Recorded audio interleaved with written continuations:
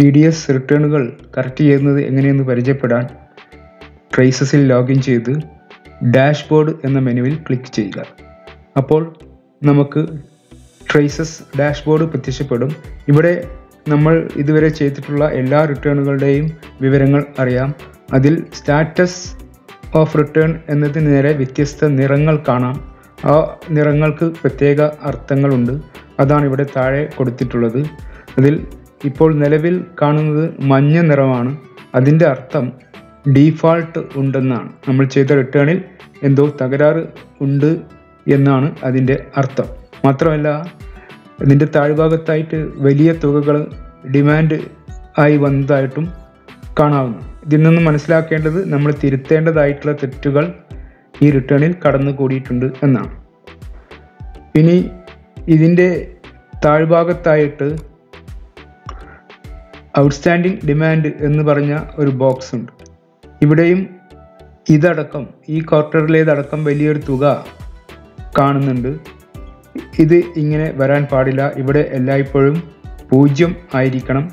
ഇവിടെ തുക കാണുന്നുണ്ടെങ്കിൽ അതിന്റെ അർത്ഥം ഒരുപാട് ബാധ്യത അവശേഷിക്കുന്നു എന്നാണ്. ഇതൊക്കെ ടി ഡി എസ് കറക്റ്റ് ചെയ്യുന്നതോടുകൂടി ഇല്ലാതായി വരുന്നു. മുകളിൽ കാണുന്ന ഇൻബോക്സ് എന്നതിൽ ക്ലിക്ക് ചെയ്താൽ നമുക്ക് വന്ന നോട്ടീസുകളുടെ വിവരങ്ങൾ അറിയാവുന്നതാണ്.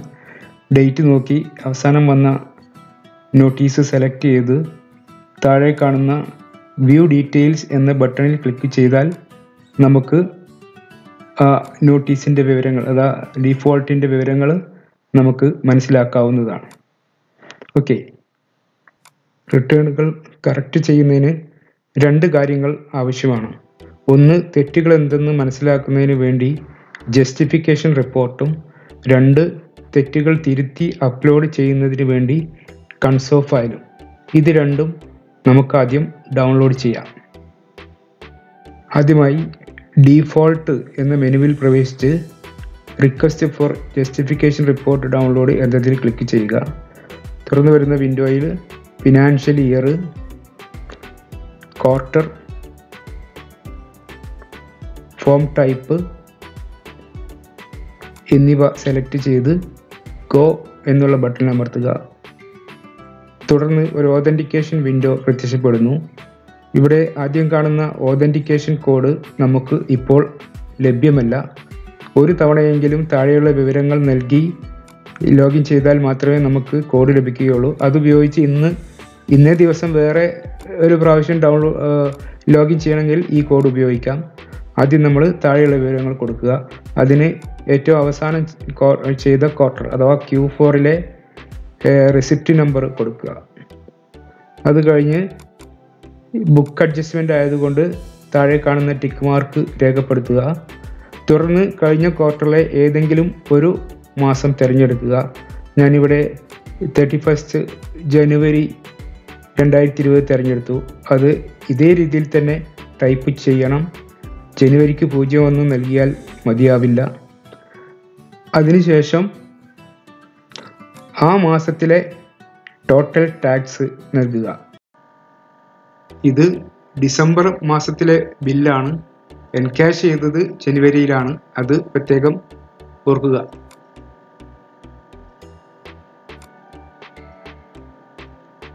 അതിനുശേഷം താഴെ കാണുന്ന മൂന്ന് ബോക്സുകളിൽ ഈ ബില്ലിൽ ഉൾപ്പെടുന്ന ഏതെങ്കിലും മൂന്ന് പേരുടെ പാൻ നമ്പറും അവരടച്ചിട്ടുള്ള ടാക്സും കൃത്യമായി രേഖപ്പെടുത്തി നെക്സ്റ്റ് ബട്ടൺ അമർത്തുക. അപ്പോൾ നമ്മൾ അടുത്ത വിൻഡോയിൽ എത്തിച്ചേരും. ഇവിടെ ഓതന്റിക്കേഷൻ കോഡ് കാണുന്നുണ്ട്. ഈ കോഡ് വേണമെങ്കിൽ നമുക്ക് നോട്ട് ചെയ്ത് വെക്കാവുന്നതാണ്. ഇന്നേ ദിവസം ഇനി ഇതേപോലെ ഈ ലോഗിനിൽ കയറണമെങ്കിൽ ഈ മറ്റു ഡീറ്റെയിൽസ് കൊടുക്കാതെ ഓതന്റിക്കേഷൻ കോഡ് കൊടുത്ത് നമുക്ക് മുന്നോട്ട് പോകാവുന്നതാണ് അതിനുശേഷം താഴെ കാണുന്ന പ്രൊസീഡ് ബട്ടണിൽ അമർത്തുക. അതോടുകൂടി ജസ്റ്റിഫിക്കേഷൻ റിപ്പോർട്ടിനുള്ള റിക്വസ്റ്റ് സബ്മിറ്റ് ചെയ്യപ്പെടുന്നു. അതിനുശേഷം വീണ്ടും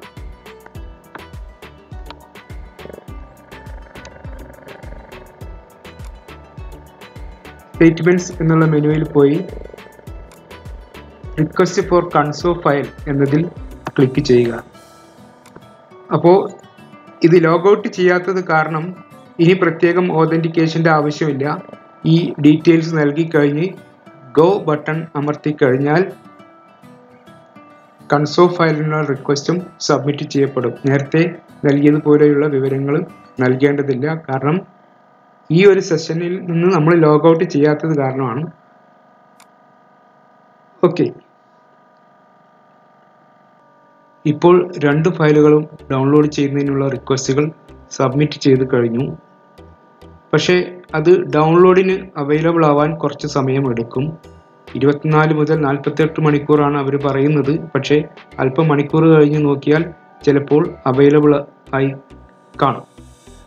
അവൈലബിൾ ആയി കഴിഞ്ഞാൽ നമുക്കത് ഡൗൺലോഡ് ചെയ്യാവുന്നതാണ്. ബാക്കി പ്രോസസ്സുകൾ ആരംഭിക്കാവുന്നതാണ്. ഏകദേശം നാല് മണിക്കൂറിന് ശേഷം ഞാൻ ഡൗൺലോഡ്സ് എന്നതിൽ റിക്വസ്റ്റഡ് ഡൗൺലോഡ്സിൽ ക്ലിക്ക് ചെയ്യുന്നു. പല രീതിയിൽ ഇത് കാണാമെങ്കിലും ഏറ്റവും അനുയോജ്യം വ്യൂ ഓൾ എന്നത് ക്ലിക്ക് ചെയ്യുകയാണ്. ഓക്കെ രണ്ട് ഫയലും ഡൗൺലോഡിന് വേണ്ടി അവൈലബിൾ ആണ്. നമുക്ക് ഓരോന്നായി ഡൗൺലോഡ് ചെയ്യാം.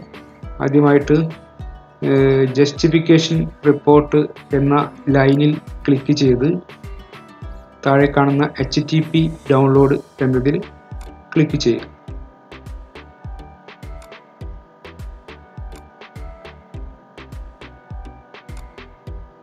ഓക്കെ ഫയൽ ഡൗൺലോഡ് ആയി കഴിഞ്ഞു. അത് നമുക്ക് എക്സ്ട്രാക്ട് ചെയ്യണം. എക്സ്ട്രാക്ട് നമുക്കൊരു പ്രത്യേക ഫോൾഡറിലേക്ക് ചെയ്യാം. തൽക്കാലം ഡെസ്ക്ടോപ്പ് സെലക്ട് ചെയ്ത് അതിന്റെ കൂടെ ഞാൻ കറക്ഷൻ എന്നൊരു ഫോൾഡർ കൂടി നൽകുന്നു. ആ ഫോൾഡർ ക്രിയേറ്റ് ചെയ്തോളും.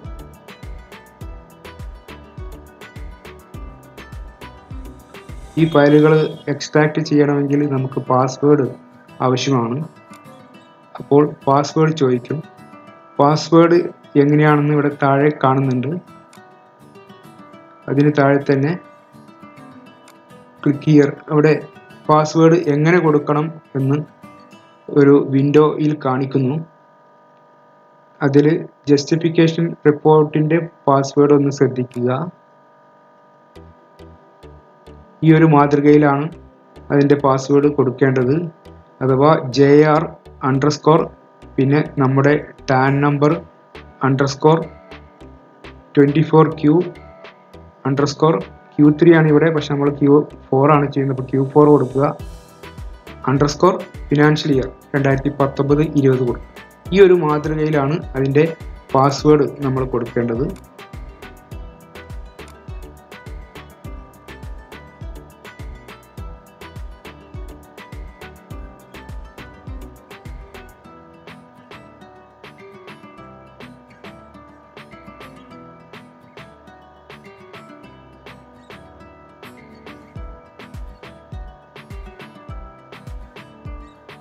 അതിനുശേഷം ഓക്കെ ബട്ടൺ അമർത്തുക.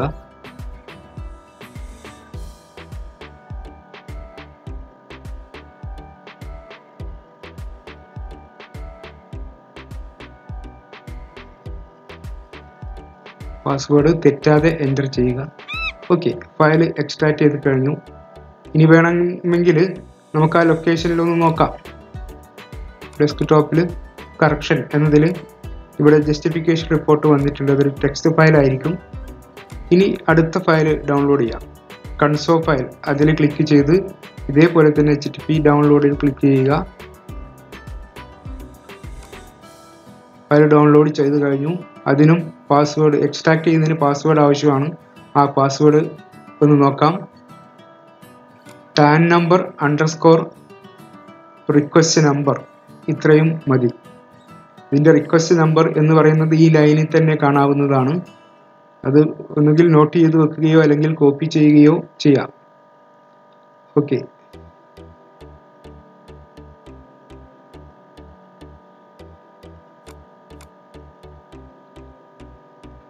റിക്വസ്റ്റ് നമ്പർ ഞാൻ അവിടെ നിന്ന് കോപ്പി ചെയ്യുന്നു. ഇനി ഫയൽ ഡൗൺലോഡ് ചെയ്യുന്നു. ഡൗൺലോഡ് ആയി കഴിഞ്ഞു. എക്സ്ട്രാക്റ്റ് ചെയ്യുക. അതേ ഫോൾഡറിൽ തന്നെ സെലക്ട് ചെയ്യുക. Okay password TAN number underscore request number ഇത് സൂക്ഷിച്ചു ചെയ്യണം.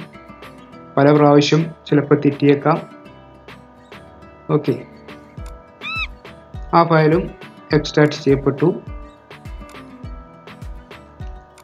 കറക്ഷൻ ഫോൾഡറിൽ ഇപ്പോൾ രണ്ട് ഫയൽ വന്നു.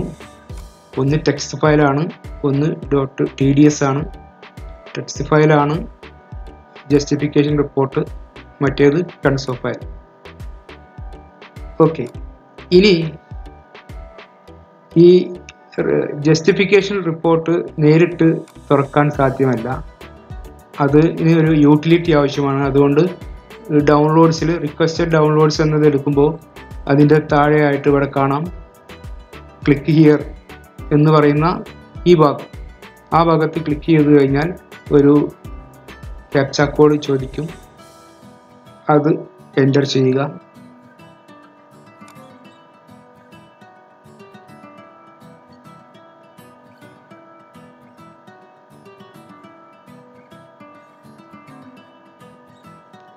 ഓക്കെ അപ്പോൾ നമ്മൾ ഒരുപാട് യൂട്ടിലിറ്റീസ് അവൈലബിൾ ആയിട്ട് ഒരു വിൻഡോയിലെത്തും ഇത് പല പല ആവശ്യങ്ങൾക്ക് വേണ്ടി ഉപയോഗിക്കുന്നതാണ്.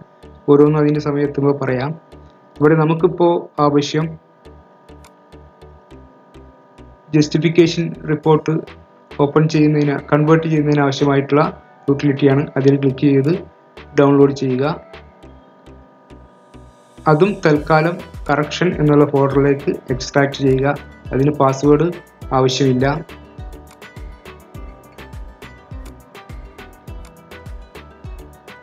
ഓക്കെ ഇനി നമുക്ക് തൽക്കാലം ട്രേസസ് ക്ലോസ് ചെയ്യാവുന്നതാണ്.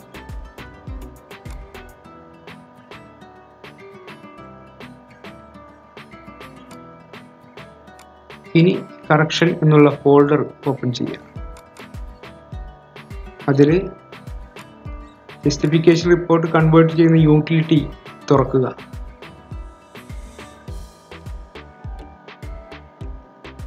അത് സാധാരണ എക്സൽ ഫയലാണ് അതിൽ നാം ഡൗൺലോഡ് ചെയ്ത് വെച്ച ജസ്റ്റിഫിക്കേഷൻ റിപ്പോർട്ടിന്റെ ഫയൽ അതൊരു ടെക്സ്റ്റ് ഫയലായിരിക്കും ആ ടെക്സ്റ്റ് ഫയൽ ബ്രൗസ് ചെയ്ത് നൽകുക.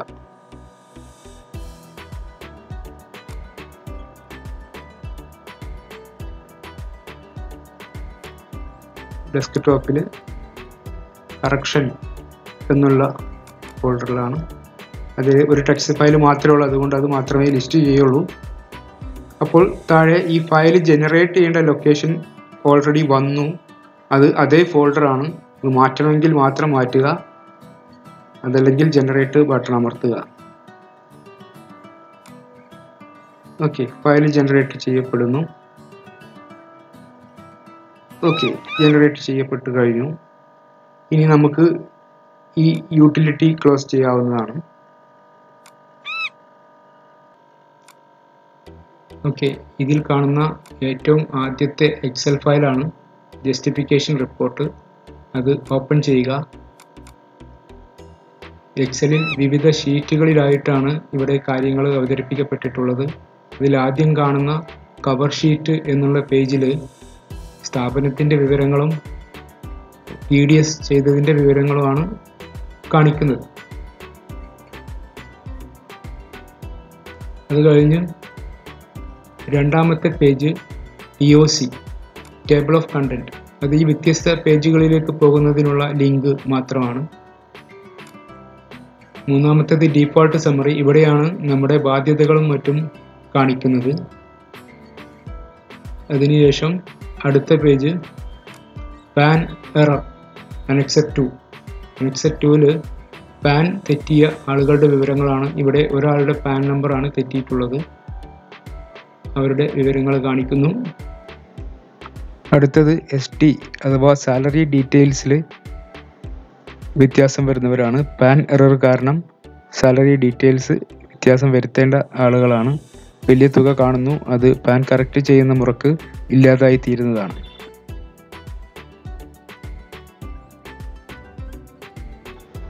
അടുത്തതായി ഷോർട്ട് ഫോൾ സാലറി ഡീറ്റെയിൽസിൽ വരുമാനങ്ങൾ അനുസരിച്ച് നികുതി പിടിക്കപ്പെടാത്ത ആളുകളാണ് ഈ കൂട്ടത്തിൽ വരുന്നത്. നമ്മളെ വരുമാനം കാണിച്ചതിനനുസരിച്ച് നികുതി പിടിച്ചിട്ടില്ലെങ്കിൽ അതല്ലെങ്കിൽ നമ്മൾ കാണിച്ച വരുമാനം തെറ്റാണെങ്കിൽ ഈ തെറ്റുകൾ സംഭവിക്കാം. അതും കറക്റ്റ് ചെയ്യാവുന്നതാണ്. ഇനി കൺസോളിഡേറ്റഡ് ഫയൽ കറക്റ്റ് ചെയ്യുന്നതിന് വേണ്ടി R P U software open ചെയ്യുക. നാം ഒറിജിനൽ റിട്ടേൺ ഏത് വേർഷനിൽ ചെയ്താലും ഇപ്പോൾ ലഭ്യമായിട്ടുള്ള ഏറ്റവും പുതിയ വേർഷനാണ് കറക്ഷന് വേണ്ടി ഉപയോഗിക്കേണ്ടത്. അതുകൊണ്ട് R P U three point two ആണ് ഇവിടെ ഡൗൺലോഡ് ചെയ്യുന്നത്. ഓക്കെ. ട്വന്റി ഫോർ ക്യൂ എന്ന് തന്നെ സെലക്ട് ചെയ്യുക. നേരത്തെ നാം റെഗുലർ എന്ന ഓപ്ഷനാണ് സെലക്ട് ചെയ്തിരുന്നത്. എന്നാൽ ഇപ്പോൾ കറക്ഷൻ ഫയലാണ് ചെയ്യാൻ ഉദ്ദേശിക്കുന്നത്. അതുകൊണ്ട് കറക്ഷൻ എന്നത് ടിക്ക് ചെയ്യുക. എന്നിട്ട് അതിനെ താഴെ കാണുന്ന ഇമ്പോർട്ട് കൺസോളിഡേറ്റഡ് ഫയൽ എന്നുള്ള ഓപ്ഷനിൽ ക്ലിക്ക് ചെയ്യുക.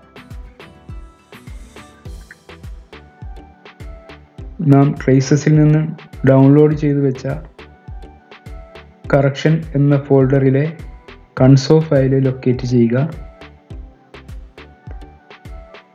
ഫയൽ ഓപ്പൺ ആകുന്നു. ഓക്കെ ഓക്കെ നാം ഒറിജിനൽ റിട്ടേണിൽ എന്റർ ചെയ്തിട്ടുള്ള എല്ലാ കാര്യങ്ങളും ഇവിടെ കാണാവുന്നതാണ്. ഇനി ആദ്യമായിട്ട് ഫോം എന്നുള്ള ടാബിൽ എന്തെങ്കിലും മാറ്റങ്ങൾ വരുത്തണമെങ്കിൽ അപ്ഡേറ്റ് ഡിഡക്റ്റർ ഡീറ്റെയിൽസ് എന്നുള്ളതിന് നേരെ യെസ് അപ്ഡേറ്റ് ഡീറ്റെയിൽസ് എന്നുള്ള ഓപ്ഷൻ സെലക്ട് ചെയ്താൽ ബാക്കിയുള്ള എല്ലാ ഫീൽഡുകളും ആക്റ്റീവ് ആകുന്നു. നമുക്ക് വേണ്ട മാറ്റങ്ങളൊക്കെ വരുത്താവുന്നതാണ്. അതിനുശേഷം ചലാൻ ഡീറ്റെയിൽസ്. നമ്മൾ നേരത്തെ ഇൻസേർട്ട് ചെയ്തിട്ടുള്ള മൂന്ന് ചെലാനുകൾ കാണാം. അതിൽ അപ്ഡേറ്റ് മോഡ് എന്നുള്ള കോളത്തിൽ അപ്ഡേറ്റ് എന്ന് പറഞ്ഞ ഒരു കോംബോ ബോക്സ് കാണാം. എന്തെങ്കിലും കറക്ഷൻ ആവശ്യമെങ്കിൽ അതിൽ അപ്ഡേറ്റ് എന്ന് സെലക്ട് ചെയ്ത് വേണ്ട മാറ്റങ്ങൾ വരുത്തുക. ഏതെങ്കിലും നമ്പറിലോ എമൗണ്ടുകളിലോ മാറ്റം വരുത്തുകയാണ് അടുത്തതായി അനക്സെപ്റ്റ് ടു ഇവിടെയും അപ്ഡേറ്റ് മോഡ് എന്നുള്ളൊരു കോളം കാണാം. അതിൽ രണ്ട് ഓപ്ഷനുകൾ ലഭ്യമാണ്. ഒന്ന് അപ്ഡേറ്റ് മറ്റേത് പാൻ അപ്ഡേറ്റ് ഓക്കെ അതിൽ പാൻ അല്ലാത്ത മറ്റെല്ലാ വിവരങ്ങൾ അപ്ഡേറ്റ് ചെയ്യാനുണ്ടെങ്കിൽ അപ്ഡേറ്റ് എന്നുള്ള ഓപ്ഷൻ എടുത്ത് വേണ്ട വിവരങ്ങൾ മാറ്റം വരുത്തുക. പാൻ നമ്പർ മാത്രമാണ് തെറ്റിയതെങ്കിൽ അപ്ഡേറ്റ് മോഡിൽ പാൻ അപ്ഡേറ്റ് എന്ന് സെലക്ട് ചെയ്ത് പതിനാലാമത്തെ കോളത്തിൽ എംപ്ലോയി പാൻ നമ്പർ എന്നുള്ളിടത്ത് കറക്റ്റ് പാൻ നൽകുക. പതിമൂന്നാമത്തെ കോളത്തിൽ ലാസ്റ്റ് പാൻ എന്ന് പറഞ്ഞുകൊണ്ട് നമ്മൾ നേരത്തെ എന്റർ ചെയ്ത പാൻ കാണാം. അത് നമുക്ക് എഡിറ്റ് ചെയ്യാൻ കഴിയില്ല. പതിനാലാമത്തെ കോളത്തിൽ കറക്റ്റ് പാൻ നമ്പർ നൽകുക. ഇനി അനക്സർ ടു കറക്റ്റ് ചെയ്യുന്നത് നോക്കാം. അവിടെ ഒരാൾക്ക് പാൻ എറർ ഉണ്ടായിരുന്നു. അത് റെഡ് കളറിൽ കാണുന്നുണ്ട്. അതിനിപ്പുറത്ത് കാണുന്ന അപ്ഡേറ്റ് മോഡ് എന്നുള്ള കോളത്തിലെ കോംബോ ബോക്സിൽ രണ്ട് ഓപ്ഷനാണുള്ളത് ഒന്ന് പാൻ അപ്ഡേറ്റ് മറ്റൊന്ന് ഡിലീറ്റ് അപ്പോൾ പാൻ തെറ്റായത് കാരണം പാൻ അപ്ഡേറ്റ് എന്നുള്ളത് സെലക്ട് ചെയ്ത് ആ പാൻ നമ്പറിന്റെ കുളത്തിൽ തന്നെ പുതിയ പാൻ നൽകിയാൽ മതി. അനക്സർ വണ്ണിൽ പ്രത്യേക കുളത്തിൽ നൽകുകയായിരുന്നു ഇവിടെ അതിന്റെ ആവശ്യമില്ല. ഓക്കെ അപ്പോൾ പാൻ കറക്റ്റ് ചെയ്തു. ഇനി ഒരാളുടെ സാലറി വിവരം തെറ്റായിരുന്നു. ഇരുപത്തഞ്ചാമത്തെ നിരയിലാണെന്ന് നമ്മൾ കണ്ടു. അപ്പോൾ ഇരുപത്തഞ്ചാമത്തെ നിരയിൽ അപ്ഡേറ്റ് മോഡ് എന്നുള്ള കോളത്തിൽ വന്നിട്ട് ഡിലീറ്റ് എന്നാണ് സെലക്ട് ചെയ്യേണ്ടത്. ഉടനെ തന്നെ ഈ റോ ഡിലീറ്റ് ആവുന്നില്ല. ഡിലീറ്റ് ചെയ്യുന്നതിനുള്ള നിർദ്ദേശങ്ങൾ കൊടുക്കുക മാത്രമാണ് ചെയ്യുന്നത്. അതിനുശേഷം ഇയാളുടെ പാൻ നമ്പർ കോളത്തിൽ ക്ലിക്ക് ചെയ്ത് shift plus right arrow key അമർത്തി അവസാനം വരെ പോയി ഈ റോ കൺട്രോൾ സി അമർത്തി ഒന്ന് കോപ്പി ചെയ്യുക. അതിനുശേഷം ആഡ് റോ എന്ന ഓപ്ഷൻ ഉപയോഗിച്ച് ഒരു പുതിയ റോ ഇൻസേർട്ട് ചെയ്യുക. ഇതൊരു ഷോർട്ട് കട്ടാണ് ഇനി ഏറ്റവും താഴെ പുതിയതായി ഇൻസേർട്ട് ചെയ്ത റോയുടെ പാൻ നമ്പർ കോളത്തിൽ ക്ലിക്ക് ചെയ്ത് കൺട്രോൾ വി പ്രസ് ചെയ്തുകൊണ്ട് ഇദ്ദേഹത്തിന്റെ തെറ്റായ വിവരങ്ങൾ അവസാനത്തെ നിരയിലേക്ക് പേസ്റ്റ് ചെയ്യുക. ഓക്കെ ഇനി നമുക്ക് ഏത് കോളത്തിലാണോ തെറ്റ് സംഭവിച്ചത് ആ കോളം മാത്രം തിരുത്തിയാൽ മതി.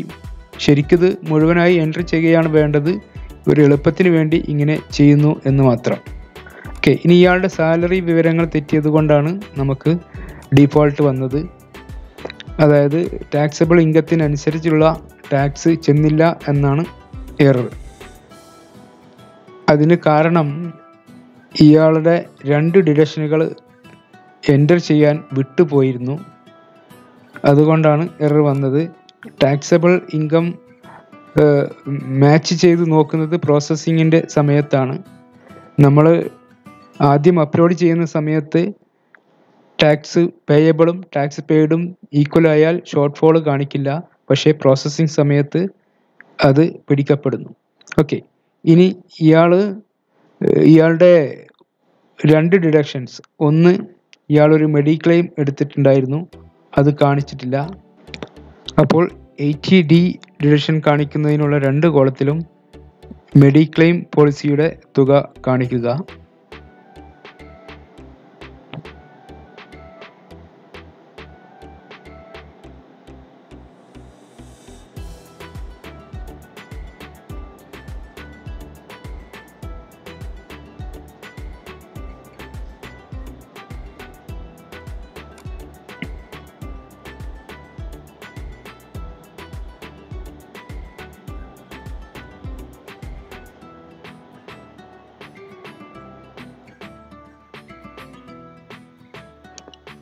ഓക്കെ. ഇനി അതുകൂടാതെ ഇയാൾ സി എം ഡി ആർ എഫിലേക്ക് പണം അടച്ചിരുന്നു. അതും ചേർത്തിരുന്നില്ല. സി എം ഡി ആർ എഫിന്റെ മൂന്ന് കോളത്തിലും അതേ തുക ചേർക്കുന്നു.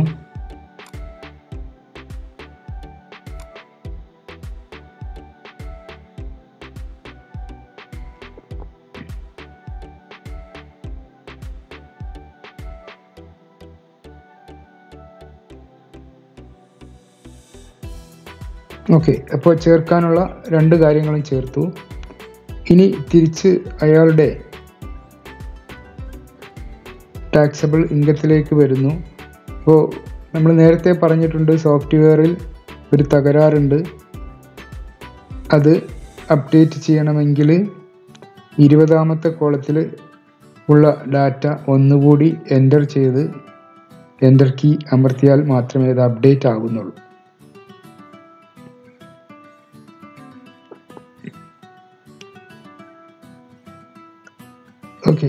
ഇപ്പോൾ അയാളുടെ വരുമാനം കുറയുകയും ഡിഡക്ഷൻ കൂടുകയും ചെയ്തു. ഈ തുകക്കുള്ള ടാക്സ് അദ്ദേഹം അടച്ചിട്ടുണ്ട്. ഓക്കെ ഇപ്പോൾ എല്ലാ മാറ്റങ്ങളും വരുത്തി. ഇനി ഫയൽ ക്രിയേറ്റ് ചെയ്യാം. നേരത്തെ പോലെ മധ്യത്തിലുള്ള ബ്രൗസ് ബട്ടൺ ഉപയോഗിച്ച് ഫയൽ സേവ് ചെയ്യുന്നതിനുള്ള ലൊക്കേഷൻ കാണിച്ചു കൊടുക്കുക. അത് നമുക്ക് കറക്ഷൻ എന്നുള്ള ഫോൾഡറിൽ തന്നെ ഒരു പുതിയ ഫോൾഡർ ഉണ്ടാക്കാം.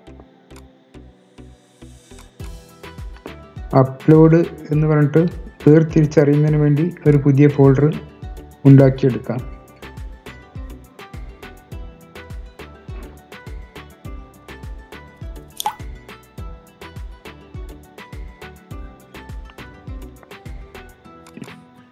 ഓക്കെ അതിനകത്ത് സേവ് ചെയ്യാം.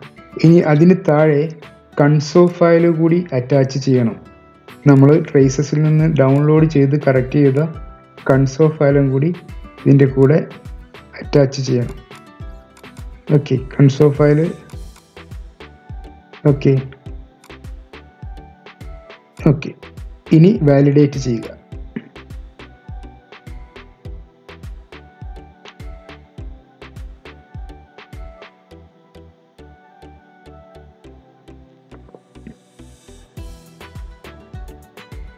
Okay file validated successfully okay ഇനി അടുത്ത സ്റ്റെപ്പ് നമുക്കിത് അപ്ലോഡ് ചെയ്യാവുന്നതാണ്.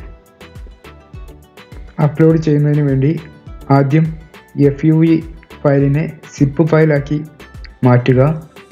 റൈറ്റ് ക്ലിക്ക് ചെയ്ത് സെൻഡ് ടു കംപ്രസ്ഡ് ഫയൽ എന്ന ഓപ്ഷൻ എടുക്കുക.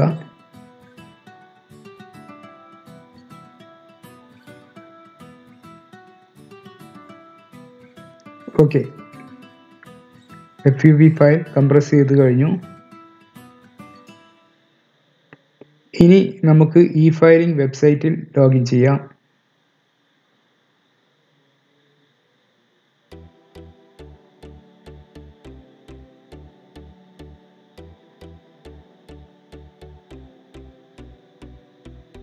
നമ്മുടെ ടാൻ നമ്പർ ഉപയോഗിച്ച് ക്രിയേറ്റ് ചെയ്തിട്ടുള്ള ലോഗിനിലാണ് കയറേണ്ടത്.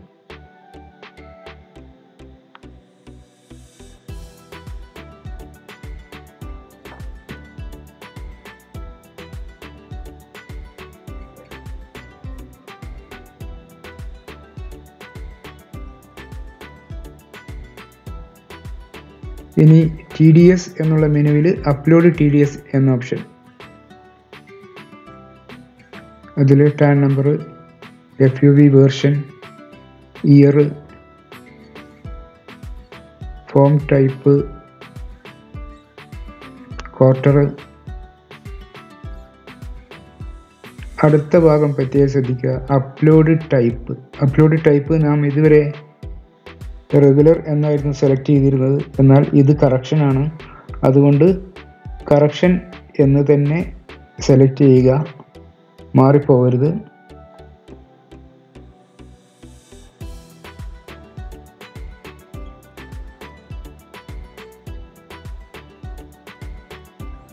ഓക്കെ അതോടുകൂടി രണ്ട് അഡീഷണൽ ബോക്സുകൾ പ്രത്യക്ഷപ്പെടും. ഒറിജിനൽ ആർ ആർ ആർ നമ്പറും പ്രീവിയസ് ആർ ആർ ആർ നമ്പറും ആർ ആർ ആർ നമ്പർ എന്ന് പറയുന്നത് റെസിപ്റ്റ് നമ്പറാണ് അഥവാ ടോക്കൺ നമ്പറാണ് ഒറിജിനൽ റെസിപ്റ്റ് നമ്പർ നമ്മൾ ഏറ്റവും ആദ്യം ചെയ്ത റെസിപ്റ്റ് നമ്പറാണ് പ്രീവിയസ് റെസിപ്റ്റ് നമ്പർ എന്ന് പറയുന്നത് ഇപ്പോൾ ഇവിടെ അത് തന്നെ ആദ്യം ചെയ്തത് തന്നെയാണ്. ഒരു ഒന്നിൽ കൂടുതൽ തവണ റിവൈസ് ചെയ്തിട്ടുണ്ടെങ്കിൽ ഏറ്റവും അവസാനം റിവൈസ് റിട്ടേൺ ഫയൽ ചെയ്ത റെസിപ്റ്റ് നമ്പറാണ് പ്രീവിയസ് റെസിപ്റ്റ് നമ്പർ എന്ന് പറഞ്ഞ് കൊടുക്കേണ്ടത്. ഇവിടെ പക്ഷേ രണ്ടും ഒന്ന് തന്നെ കൊടുക്കുക.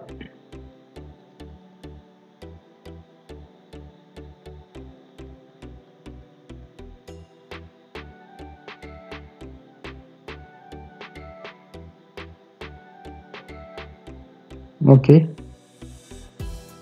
Then validate.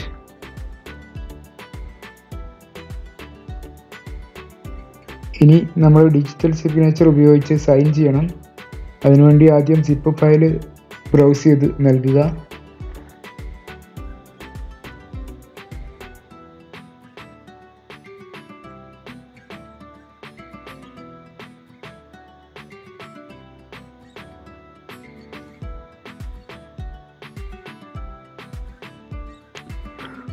ഓക്കെ. ഇനി ഡി എസ് സി യൂട്ടിലിറ്റി ഉപയോഗിച്ച് ബൾക്ക് അപ്ലോഡ് എന്നുള്ള ഓപ്ഷൻ ഉപയോഗിച്ച് നമ്മൾ ഡിജിറ്റൽ സിഗ്നേച്ചർ ഫയൽ ക്രിയേറ്റ് ചെയ്യുക. നേരത്തെ പോലെ തന്നെ. ഫയൽ ക്രിയേറ്റ് ചെയ്തതിന് ശേഷം താഴെ ബ്രൗസ് ബട്ടൺ ഉപയോഗിച്ച് ആ സിഗ്നേച്ചർ ഫയൽ ലൊക്കേറ്റ് ചെയ്യുക. അപ്ലോഡ് ബട്ടൺ അമർത്തുക. ഓക്കെ. ഇനി നമുക്ക് റെസിപ്റ്റ് നോക്കാം.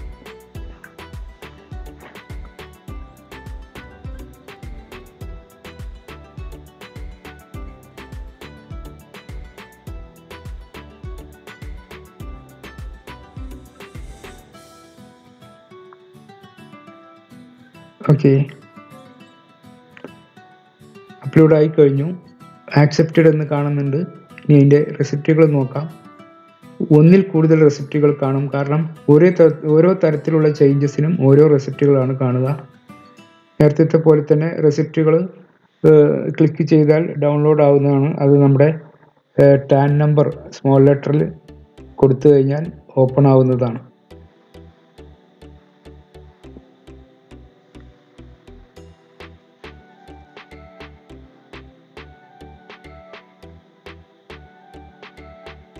ഓക്കെ അപ്പോൾ ഇവിടെ സ്വാഭാവികമായിട്ട് ഒരു സംശയം വരും. ഇനി അടുത്ത തവണ റിവൈസ് ചെയ്യുകയാണെങ്കിൽ ഇതിൽ പ്രീവിയസ് റെസിപ്റ്റ് ആയിട്ട് ഏത് നൽകും എന്നുള്ളത്. ഈ മൂന്നെണ്ണവും ആക്സെപ്റ്റ് ചെയ്തിട്ടുണ്ടെങ്കിൽ ഇതിൽ ഏതെങ്കിലും ഒന്ന് നൽകിയാൽ മതി. ചില റെസിപ്റ്റുകൾ ചില ചേഞ്ചസ് ചിലപ്പോൾ റിജക്റ്റ് ചെയ്യും. അങ്ങനെയാണെങ്കിൽ റിജക്റ്റ് ചെയ്തത് കൊടുക്കരുത്. ആക്സെപ്റ്റ് ചെയ്ത റെസിപ്റ്റുകൾ ഏതും കൊടുക്കാവുന്നതാണ്. ഓക്കെ